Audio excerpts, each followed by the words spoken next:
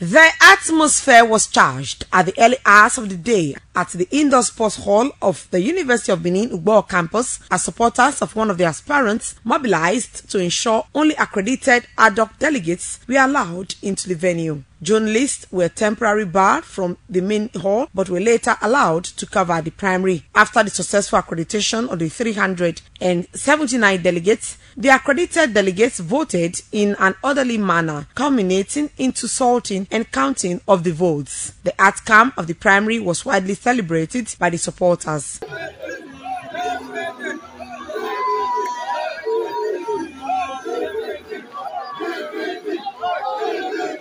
Valentine Asuen and some APC stalwarts commended the exercise.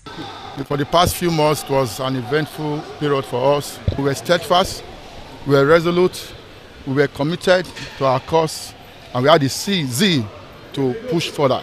And thank God, victory is for everybody. I have joy here that the youth, the youth are really on ground. So I will urge my youth in next election I will want a, no, a lot of youth to involve in politics so that we can do something better for our children children. We are so happy today that the primary went on smoothly. No fights, no rancor, nothing. All the delegates, they cast their votes and the votes were counted. Best Mbiere reporting.